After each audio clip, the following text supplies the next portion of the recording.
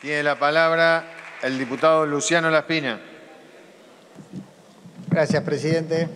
Bueno, para empezar, eh, la verdad es que hubiese querido empezar hablando directamente del presupuesto, pero se han hecho muchas menciones a, a la gestión anterior y la verdad es que yo creo que los que estamos acá atravesando esta crisis enorme por la que está pasando Argentina deberíamos concentrarnos más en el futuro que en el pasado. Pero si quieren hablar del pasado deberíamos revisar eh, qué gobierno tuvo el récord de desvíos presupuestarios. Cuando en la época de Guillermo Moreno venían a este Congreso los presupuestos con inflación de un dígito, cuando la inflación volaba en las góndolas de los supermercados, que eso le daba una, una gran discrecionalidad al gobierno para después poder subir los gastos a través de DNU. Entonces, creo que tenemos que ser justos con la historia y, no creo que aquí nadie de los que habló pueda estar libre de tirar la primera piedra. En materia de obras públicas, se dijo también, se habló de una inversión paupérrima en el anterior presupuesto. Obviamente que Argentina atravesó una crisis financiera en los dos últimos años de gestión del presidente Macri, pero también recordemos la multiplicidad, variedad y economicidad de todas las obras que se hicieron durante la gestión anterior. Puedo citar un ejemplo, el más dramático, el más triste, el más lamentable. El costo del kilómetro cuadrado de las rutas pasó a costar la mitad en dólares en la Argentina. Entonces, cuando uno hace alguna evaluación de la ejecución presupuestaria, creo que debería también poner en consideración la eficiencia de esa ejecución. Y si quieren podemos pasar un, repaso del listado de obras inauguradas en cuatro años versus los 12 años anteriores y el costo de esas obras de ya. ¿no? Se habló también de déficit fiscal, de endeudamiento. El déficit es el padre y la deuda es el hijo. Esto tiene que quedar claro. No hay ninguna magia en esto y la prueba es que lo que va de los pocos meses del gobierno de Alberto Fernández, la deuda creció 20 mil millones de dólares. Voy a explicar cómo llego a ese número. Porque como este gobierno tiene déficit fiscal, del cual no se puede con magia evadir de ninguna forma, sabemos que las fuentes de financiamiento son deuda y emisión, fiscal, emisión monetaria.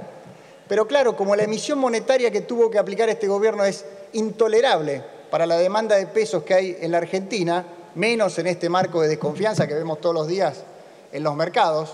Tenemos el mismo riesgo país que teníamos antes de, la, etapa del sobreendeudamiento, 1.400 puntos de riesgo país. El ministro Guzmán vino acá y dijo, el gran problema de Argentina es el sobreendeudamiento, yo lo voy a solucionar. Pateó la pelota cuatro años y tenemos 1.400 puntos de riesgo. ¿Y saben qué? El diagnóstico era errado. El problema no era tanto el sobreendeudamiento de la Argentina, sino que hace 10 años que no crecemos, cosa que en la última intervención del ministro Guzmán, cuando vino al Congreso, admitió. Porque cuando vino al Congreso acá, dijo que el problema de la Argentina, por el cual estamos en recesión, era la enorme mochila fiscal de la deuda externa, la deuda externa que ya reestructuró, además de la deuda interna que también reestructuró, y el ajuste procíclico del gobierno de Macri pero no mencionó los 10 años de estancamiento que comenzaron cuando el kirchnerismo dinamitó las bases del crecimiento económico, ahogando al sector privado con impuestos para financiar una fiesta fiscal con una soja de 600 dólares que después pasó a costar la mitad y la Argentina desde entonces está quebrada. Lo que vino después es la debacle, el cepo, el agotamiento de las reservas, el saqueo al FGS, porque ahí se llenaron de títulos de colores el FGS, el saqueo del Banco Central, reservas negativas como tenemos hoy, que son el mismo número paradójicamente que recibió el presidente Macri en diciembre del 2015. ¿Cómo llego a 20 mil millones de dólares de aumento? Muy fácil. Es el aumento de, las LELIX. ¿Qué son las LELIX? La contraparte de la emisión monetaria. Lo que tiene que absorber el Banco Central para que esas LELIX no generen que el dólar de 140, no sé cuánto está hoy, 180, no sé, 190, 200, no sé lo que estará, porque no vi los diarios hace minutos porque tiene una volatilidad tremenda.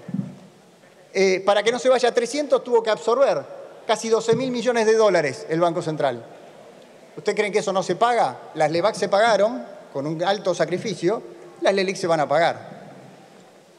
7 eh, mil millones de dólares de colocación el mercado de deuda, gran parte en pesos. Ahora tenemos este nuevo instrumento dolarizador, Dollar Link, como si la, deuda dolarizada a través de un contrato fuese distinta a otra deuda, como si la devaluación no la afectara. Lo mismo pasa con la cantidad, más de 5 mil, 6 mil millones de dólares que se están vendiendo en el mercado de dólar futuro, como los vendió para llegar a las elecciones el expresidente del Banco Central, Banoli.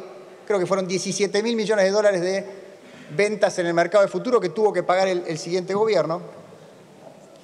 Eh, después aumentó la deuda por el canje, 4 mil millones de dólares, y, cambios en la evaluación, menos 3 mil que bajaron la deuda. O sea, un redondeo de 20 mil millones de dólares en lo que va. Porque no hay milagro acá. Si no se baja el déficit fiscal, la deuda sigue aumentando, o la cantidad de pesos sigue aumentando, o la deuda del Banco Central para absorber esos pesos sigue aumentando. Entonces, si criticamos el gradualismo de Cambiemos, que obviamente financió una baja gradual del déficit fiscal a través de endeudamiento, deberíamos también criticar el gradualismo que plantea este presupuesto, más allá de las condiciones objetivas, lo sanitario, etc. ¿Qué es lo que plantea el ministro Guzmán? El ministro Guzmán plantea un puente que empieza con este presupuesto que nos debería llevar a una economía con mejores fundamentos en donde todos seremos felices. Y ese es el gradualismo de Guzmán, es decir, no me pidas que haga todo rápido porque no puedo, porque tengo que empujar la demanda para que la economía reaccione. Un argumento que también podría haber aplicado con las mismas palabras Mauricio Macri en los primeros años de gobierno, que además cuando se pedían eh, medidas de corrección fiscal, escuchaba recién a una diputada preopinante, quejarse del ajuste fiscal y quejarse de la deuda al mismo tiempo, lo cual es la inconsistencia más grande que yo he escuchado en cualquier parlamento en una discusión presupuestaria. O se dice una cosa o se dice otra. En el mismo discurso, por lo menos, lo puedes decir en dos discursos para que nadie se dé cuenta, pero en el mismo discurso, criticar el ajuste y criticar el endeudamiento es una contradicción lógica incomprensible. Entonces, ese puente que traza Guzmán, este gradualismo, está sediado por una brecha cambiaria, que es el tema de todos los días, porque acá hablamos del presupuesto y del año 2021, como si afuera hubiese una realidad virtual en el cual está todo ordenado. Estamos solo esperando la vacuna y cuando llegue la vacuna todos seremos felices y la economía argentina se resuelve mágicamente. Y no es así. Tenemos una brecha cambiaria enorme, las reservas siguen cayendo a pesar de las medidas y, y el presupuesto espera una recuperación de más del 5%. Me pregunto con qué dólares vamos a recuperar si hoy el Banco Central está perdiendo reservas todos los días. Hace un año la base monetaria era 1.3 billones, desde diciembre de este año emitió el Banco Central 1.9 para financiar al Tesoro. Entonces, obviamente esto está metiendo presión y esto es parte del problema. Y lo que nos propone el ministro Guzmán es trazar un puente de esperanza con algunas medidas que son dosis homeopáticas para una situación que requeriría una estrategia de shock hasta que vayan mejorando los fundamentos en el tiempo. Y en el medio la economía se va desangrando. Entonces el puente de Guzmán no nos conduce a la otra orilla, nos retorna a la misma pesadilla. Y esa es nuestra, nuestra crítica central a los supuestos macroeconómicos de este, de este presupuesto.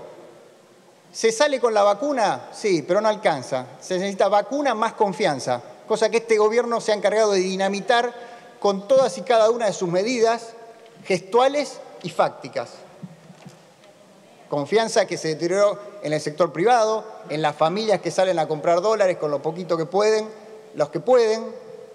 Confianza que se deterioró en la ruptura del diálogo y, el agitamiento de la grieta, que a pesar de las primeras semanas que parecíamos tener un Alberto Fernández moderado, después se kirchnerizó, dejando en offside incluso a sus propios aliados, al peronismo moderado, que veía en Alberto la esperanza de una persona que podía frenar los ímpetus radicalizados de la vicepresidenta. Eso no ocurrió. Y con ese Alberto Fernández se hundió la confianza en la economía y estalló la brecha cambiaria y estalló la crisis. También tenemos, no solo en lo macro, tenemos, y ya tengo que terminar, tenemos diferencias muy notables en cuanto a la priorización del gasto.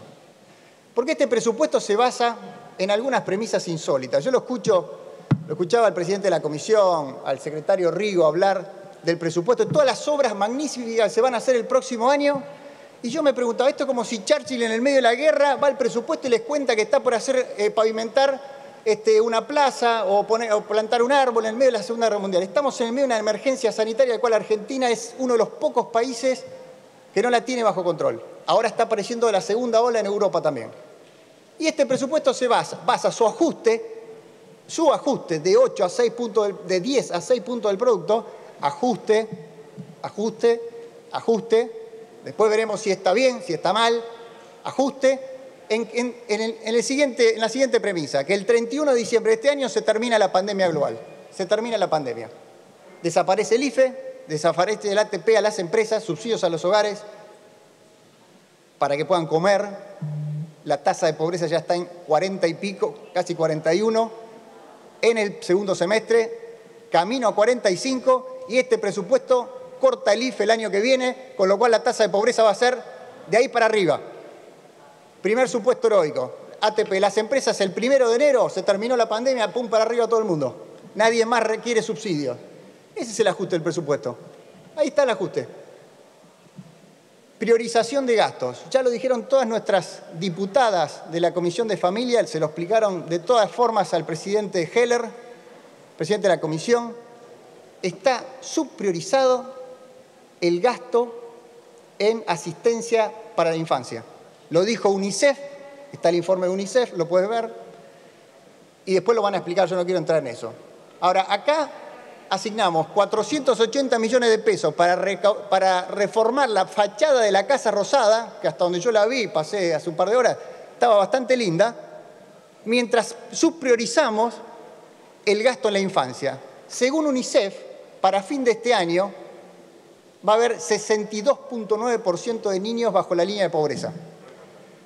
En lugar de discutir cómo reforzamos los jardines maternales, los programas que los varios programas que ahora van a comentar mis diputadas colegas, que están subpriorizados en este presupuesto, tenemos 480 millones para ponerle luces de colores a la Casa Rosada y hacer el acto del 17 de octubre del año que viene. Entonces, ¿cómo se explica este milagro de la prodigalidad, donde aparecen obras, transferencias a provincias, donde todo, todo parece fluir en un mundo fantástico? Bueno, como dije, el fin de la pandemia, el congelamiento real de las jubilaciones y pensiones y de la UH, porque están todos ligados a la misma fórmula, y suba de tarifas, porque este presupuesto mantiene... Diputado, ¿se puede ir redondeando? ¿Cómo no? Este presupuesto supone, como lo dijo el ministro Guzmán, que en el año electoral vamos a subir tarifas, cosa que lo veo complicado. Y después el impuesto inflacionario. Obviamente hay 1.2 billones de pesos que va a emitir el Banco Central, son 12 mil millones de dólares, ¿Alguien puede creer que emitir 12 mil millones de dólares es gratuito en cualquier parte? No, en Argentina menos, porque no hay demanda de pesos, como dijo bien Cristina Kirchner, con una salvedad, y con esto termino, presidente, cuando Cristina Kirchner habla del problema de la dolarización en la Argentina, se olvida de decir que el último gobierno que dinamitó, yo creo la última o de las últimas posibilidades de tener una moneda propia en Argentina, fue el gobierno de Néstor y Cristina Kirchner. En el año 2003 Argentina tenía inflación de un dígito bajo. A partir de ahí empezó una política monetaria y fiscal que llevó la inflación a dos dígitos cuando toda Latinoamérica pasaba. Lula en Brasil, también eje bolivariano, ¿eh? no estoy hablando de ni siquiera eje bolivariano, del 20 y pico al 5 o 6%, del dos dígitos a un dígito. Brasil, Argentina para el otro lado creamos el monstruo y este monstruo, una vez que lo pones en, movimiento en Argentina, nos llevó 50 años, cierro, 50 años resolverlo. Bueno, con esto termino con el sentido de nuestro voto, presidente. Nosotros tenemos objeciones respecto a los supuestos económicos, no creemos que haya un plan económico en este presupuesto. Argentina está en un desfiladero muy complejo, del cual, por supuesto, le deseamos mucha suerte al equipo económico y a todos los argentinos para que la puedan enderezar. Tenemos observaciones respecto al gasto y al articulado, pero tampoco queremos ser una oposición que obstaculiza, una oposición que plantea todo o nada, y queremos asegurarnos, y esa es nuestra convicción, de que el gobierno tenga su ley de presupuesto. Y como sabemos que están finitos en los números porque tienen que buscar aliados, la posición de nuestro bloque es abstenernos en esta votación para garantizar que los números del presupuesto para el oficialismo y aprobar la ley van a estar. Es, obviamente, una posición responsable, pero tampoco la responsabilidad nos obliga a avalar un presupuesto que tanto en sus supuestos micro como en su priorización de gasto está muy lejos de lo que nosotros pretendemos. Muchas gracias, presidente. Gracias, diputado.